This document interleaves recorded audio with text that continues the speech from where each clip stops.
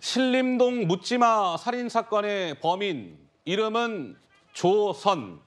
그런데 이 조선의 범행 전에 검색 기록이 공개가 됐는데요. 홍콩의 묻지마 살인, 정신병원 입원, 뭐 이런 걸 찾아봤다고 합니다. 조선의 범행이 계획 범죄였을 가능성에 당연히 무게가 실릴 수밖에 없겠죠. 자, 이준성 기자가 준비한 리포트 보시겠습니다.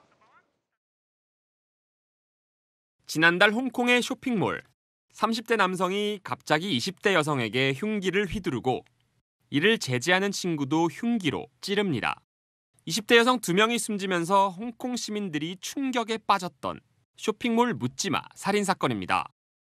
신림동 묻지마 살인 사건의 피의자 조선은 범행 한 달여 전쯤 인터넷 포털 사이트에 홍콩 묻지마 살인을 검색했습니다. 대낮에 도심 한복판에서 행인을 대상으로 한 묻지마 범행이었고 범행 10분 전 흉기를 사거나 훔친 점, 흉기의 종류와 크기 등이 신림동 사건과 비슷합니다. 조선은 또 정신병원 강제 입원과 비용, 탈출 등도 검색했습니다. 감형을 줄이기 위해 심신미약 주장 계획까지 미리 세웠다는 의심이 드는 정황입니다.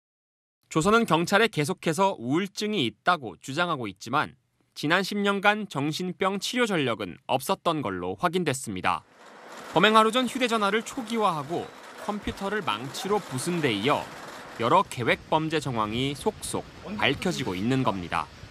경찰은 조선의 금융거래 내역을 들여다보기 위해 계좌 압수수색 영장을 신청하는 등 계획 범죄를 입증할 객관적 자료 수집에 주력하고 있습니다. 채널A 뉴스 이준성입니다.